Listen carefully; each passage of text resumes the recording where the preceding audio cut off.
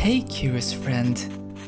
The American continent offers spectacular natural landscapes.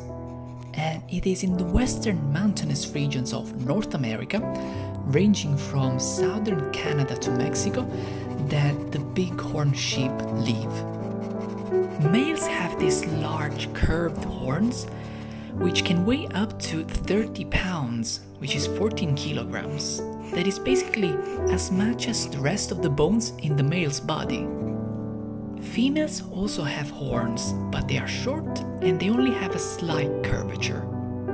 An interesting fact is that bighorn sheep groups protect themselves from predators by facing different directions, allowing them to keep watch on their surroundings. What a proud creature!